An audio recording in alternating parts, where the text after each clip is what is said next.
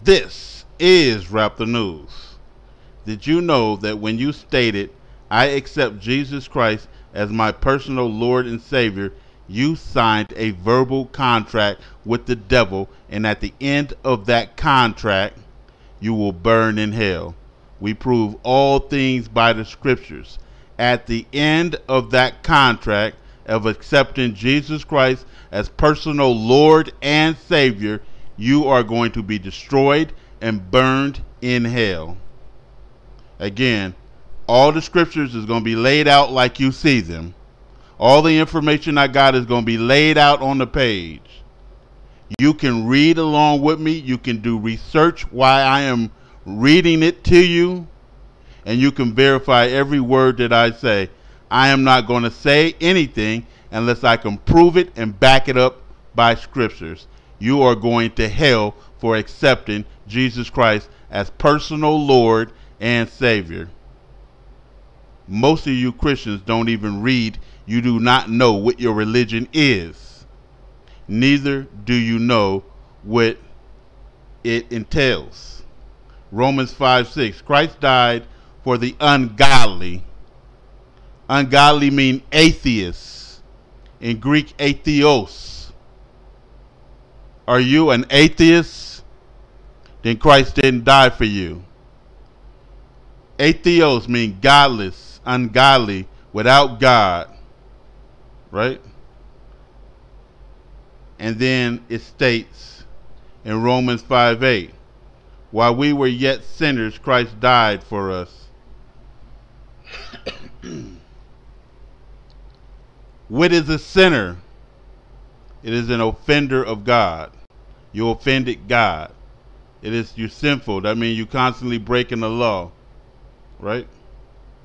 It is chata in Hebrew, which means you are a criminal in God's eyesight. You are counted as guilty. You are an offender. You are the wicked. And he already states, I told you at the end of this contract, you're going to burn in hell. I'm going to prove everything with the scriptures. I pray that you have some patience with me. I pray that you believe today and get out of that fake ass damn religion with these fake people lying and deceiving you. Today, you are going to learn the truth about Christianity. So, right after the Bible states strongly that Christ died for the ungodly sinner, it goes and says this John 9 3 1. Now we know that God hears not sinners John 9:31. We know that God hears not sinners. There are three that bear record in heaven the Father, the Son, and the Holy Spirit. These three are one and in agreement with each other. If they're in agreement with each other, if the head, God, don't hear sinners, then why would the body and the spirit? if they are in agreement with each other.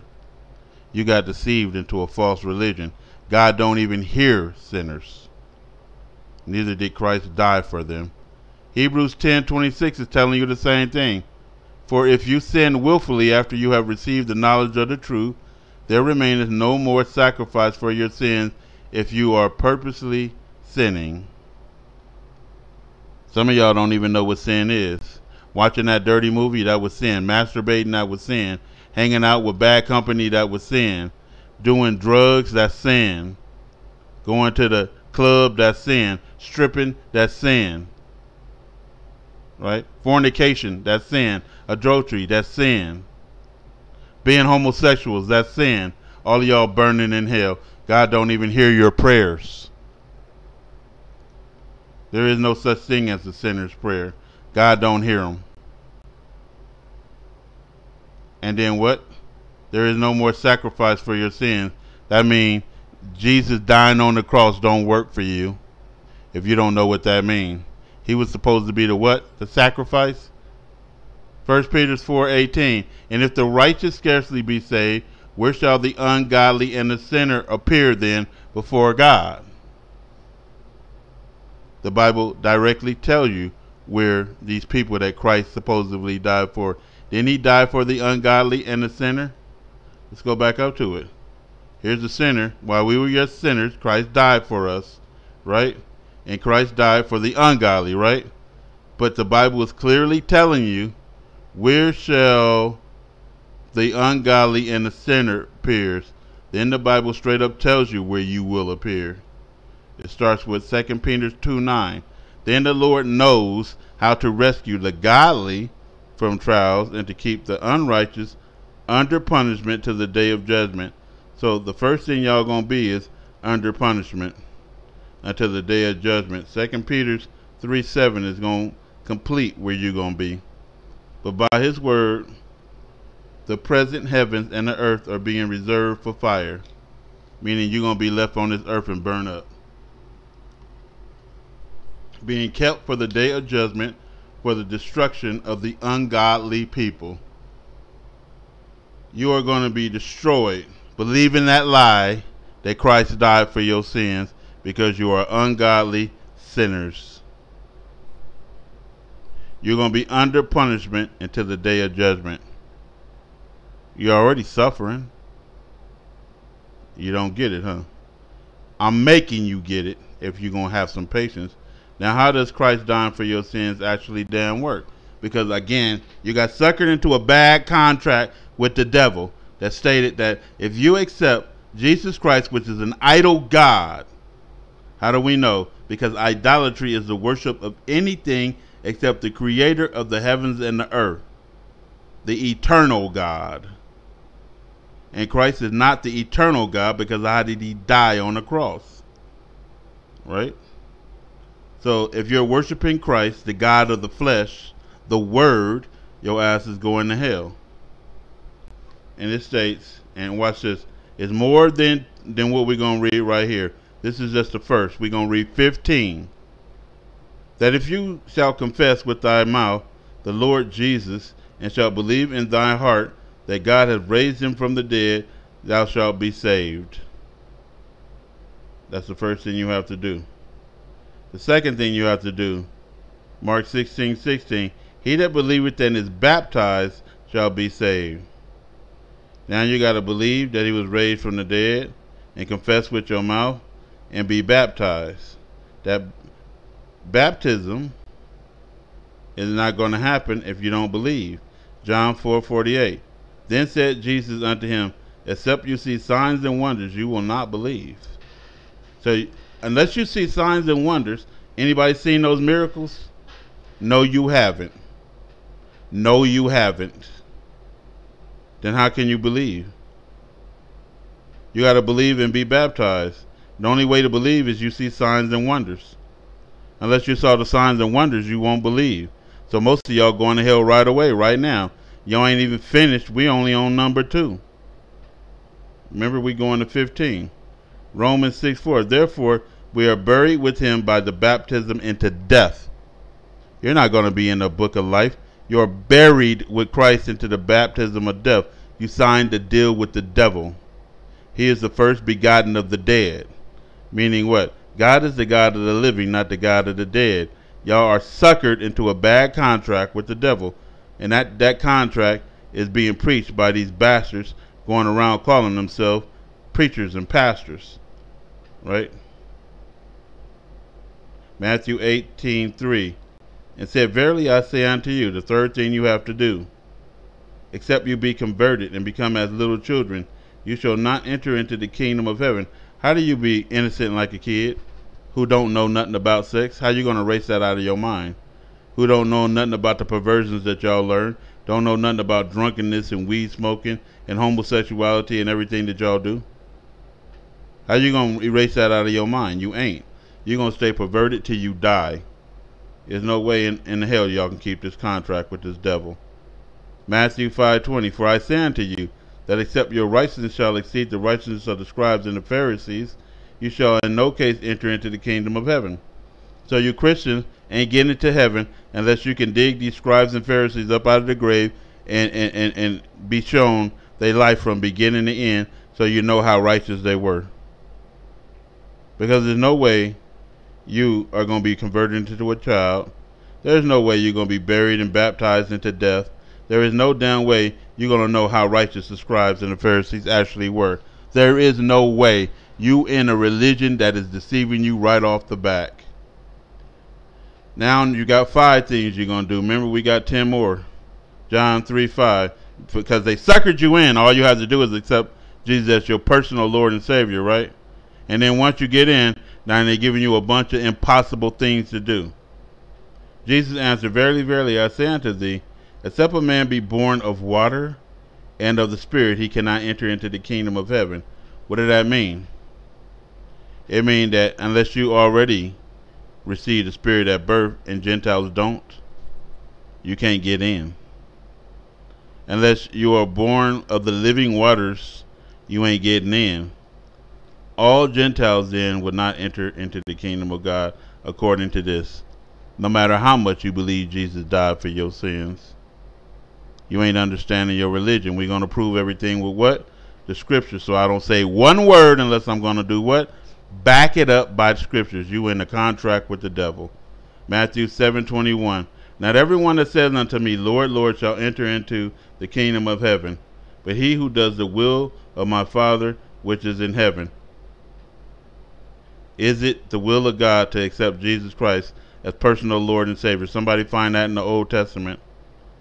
Because the will of God is written in the law and his commandments and his statutes and decrees. And in those decrees, there is nowhere in that that states to accept Jesus Christ as personal Lord and Savior. And he's also saying that even though you confess Jesus with your mouth, you still ain't going to enter into heaven because he lied. You're dealing with the devil. He just said, if you confess his name with your mouth, that, that Jesus is Lord, and you believe in your heart that God, that God raised him from the dead, you're going to be saved. And Jesus himself is saying, you ain't going to be saved unless you do what? Obey the commandments. Do the will of God. Mark 10 24. The religion is already confusion then. And God is what? Not the author of confusion. But Jesus answered again and said unto them, Children, hard is it for them that trust in riches to enter into the kingdom of God. And then what is riches? It ain't that you're rich. He didn't say you're rich. He said you trust in money. You trust in gold. You trust in silver. You trust in your knowledge. You trust in your fancy car to get you from there. You trust in this. And God is saying, if you trust in your car, that is going to get you from point A to point B, you trust in that plane, it's going to safely land. If you trust in the money, the money is going to pay the rent and, and keep you going when God gives you your daily bread. Anybody who trusts in material things, inanimate objects, and the creation, you don't enter into the kingdom and everybody trusts in medication. You trust in so many things that's not God. Right? You trusting in riches. Matthew 19:24. And again I say unto you, it is easier for a camel to go through the eye of a needle, for a rich man to enter into the kingdom of God. What does that mean? a camel uh, a camel ain't ever going through the eye of a needle. I mean, nobody rich is ever getting into the kingdom. A camel will never go through the eye of a needle. They suckered you in. We on number eight right now. They suckered in, you in to this saying, all you have to do is accept Jesus Christ as your personal Lord and Savior. You need to call them on their shit and say, hey, look, now I got to be baptized. Now I got to be born again. Now I got to be born of water and spirit. Now I got to turn into a little child. Now I can't be rich. Now I can't trust into these things. It's a big process, sir, that you didn't tell me about when I signed that first contract, a verbal contract with you, you devil. Let's keep going, because y'all got suckered and lied to. I didn't go back again 3,000 years and write this. These are not my words. I'm not doing anything just to provoke and piss Christians off. Y'all silly like that, man and I have to actually say these words because you silly mofos will actually believe I'm just saying things to piss you off, to irritate you, to scoff, and we reading directly out of the book. The book itself is scoffing you. You was a sucker believing a bad deal. And now you want to get mad because you got suckered into a bad deal. And you ain't going to possibly do none of this stuff. None of y'all is doing any of this. That means all of you Christians is going to hell. You got suckered into a deal with the devil. And you didn't even know all of the, the, the, the details of the contract. Acts 14:22 You must go through much tribulation to enter into the kingdom of God. You got to go through pure fucking hell. Are you going through pure hell? Most of y'all is in Christianity any damn way, huh? Believing in this garbage. Ephesians, you might qualify for that one. Ephesians 5, number 5. For this you know, no whoremonger. That means if you commit fornication, you ain't getting in. I thought all you had to do was confess that Jesus Christ was Lord and Savior.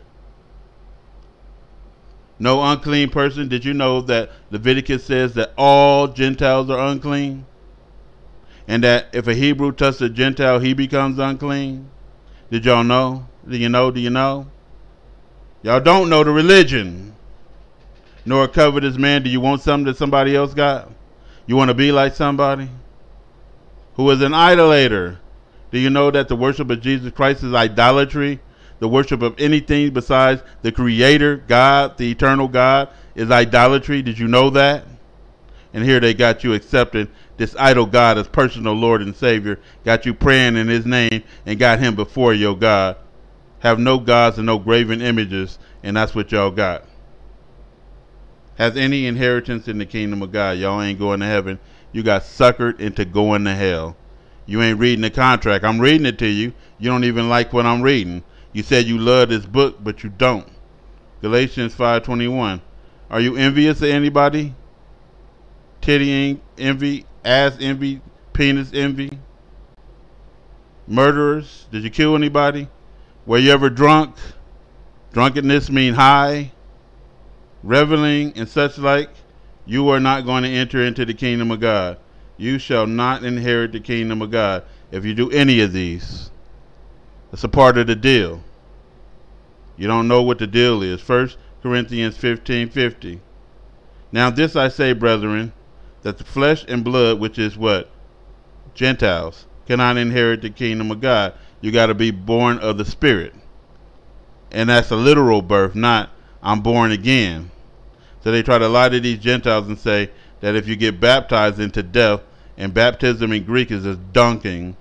If we can dunk you in the water, then you're going to be raised up and the Spirit is going to descend on you when the book clearly tell you that flesh is always flesh and spirit is spirit. It is not interchangeable. You can't become the Spirit. You are what you are. You are how you were born. And flesh and blood do not enter the kingdom. So if you look in Revelation, it's going to tell you that there are 12 gates to heaven.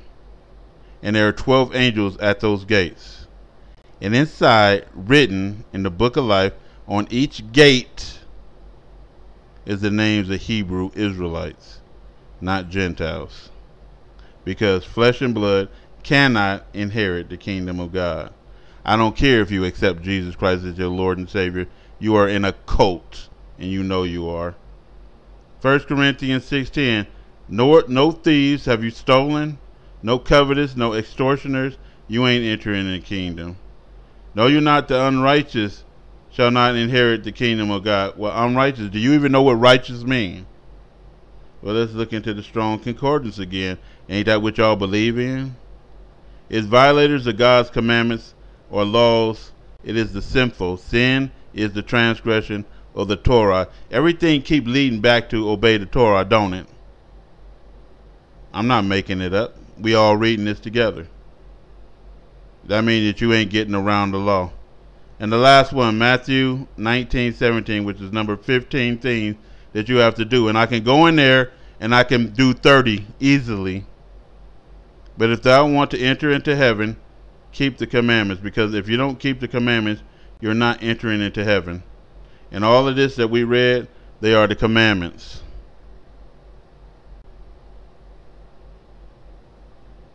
All they wanted to do was sucker you in to get some more tithing money, huh?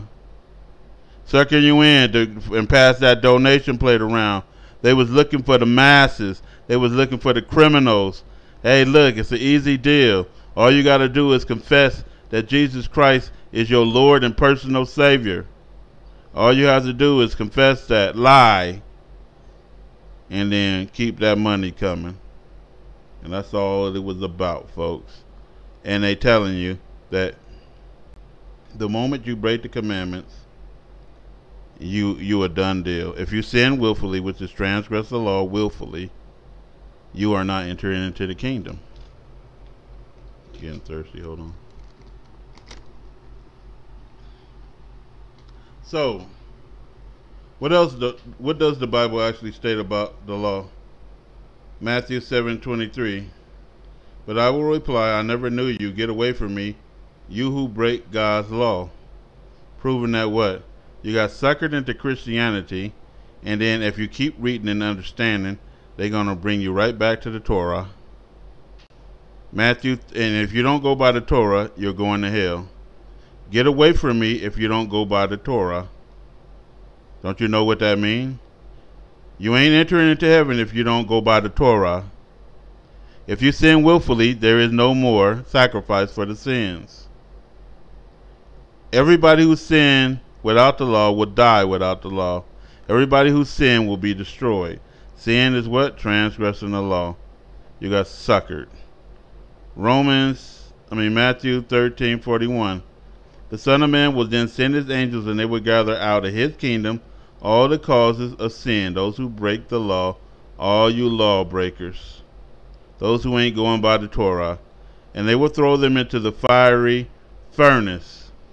At the end of the contract, uh, Jesus died for your sins, accepting him as personal Lord and Savior.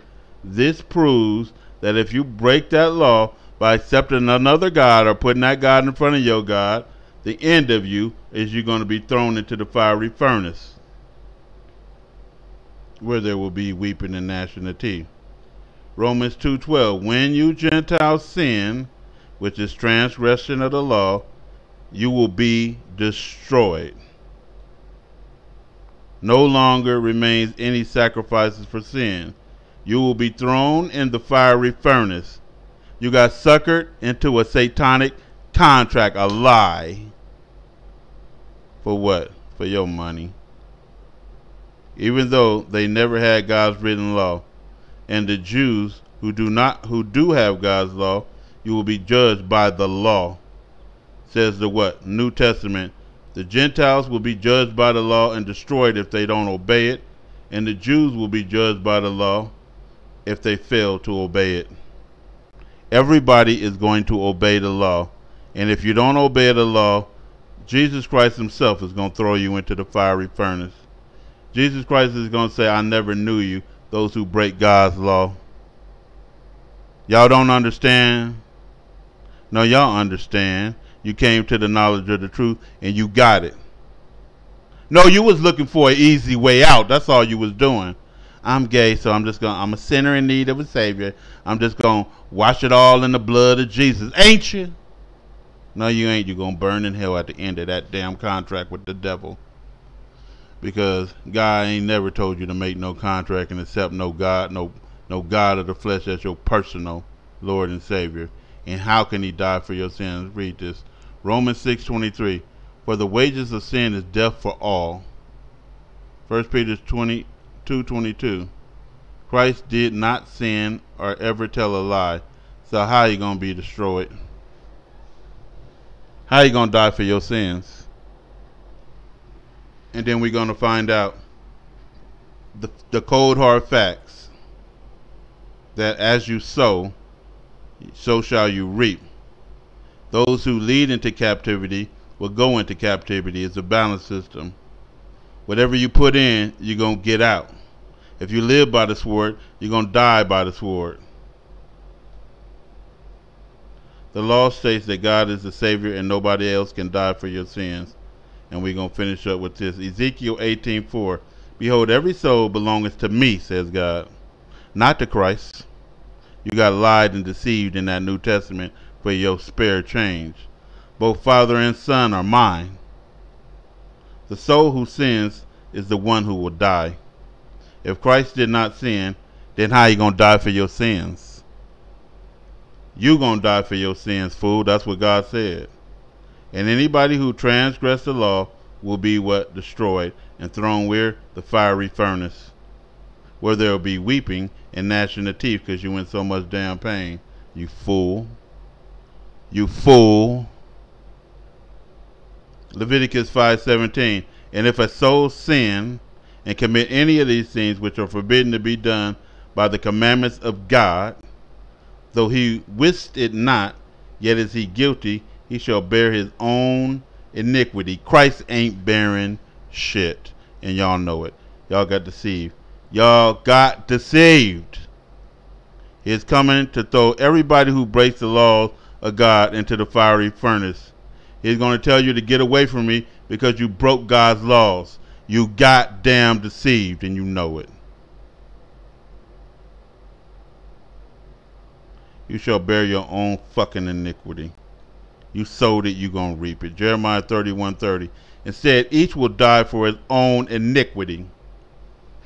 All the prophets, Ezekiel, Leviticus, Jeremiah, we're going into Exodus next. Everybody gonna agree. Except for your dumb ass, because you can't get over it, that you ain't gonna get no easy way out. Exodus 23 7. Keep thee far from a false matter, and the innocent which is Christ. Christ did not sin or ever tell a lie. And the innocent and the righteous slay thou not. This is the commandments. So how you gonna die for your sins? How did God send his only begotten son to die for your sins? God don't change. Somebody lied in the New Testament. Same motherfuckers who told you that if you accept Christ as your personal Lord and Savior, you'll be saved. They lying ass motherfuckers. Verily, verily, I tell you, everybody who says to me, Lord, Lord, ain't getting saved, nigga. You got deceived. For I will not justify the fucking wicked, the ungodly sinner. You believe me, nigga, and you know you do. That's why you mad. You want to turn. You wish you never heard it, huh? But you will burn in hell if you didn't hear this. Acquitting the guilty and condemning the innocent. The Lord detests both of that shit. So how he gonna send his only begotten son to acquit the goddamn guilty? and condemning the innocent, which is Christ, to death. When God said, What? I detest that shit. Go look up detest because you morons probably don't even know what that means. Ezekiel 18:20.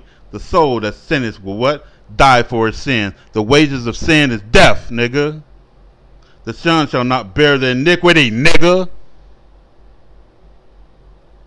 You easy going motherfuckers looking for an easy way out of the Father, neither shall the Father bear the iniquities of the Son.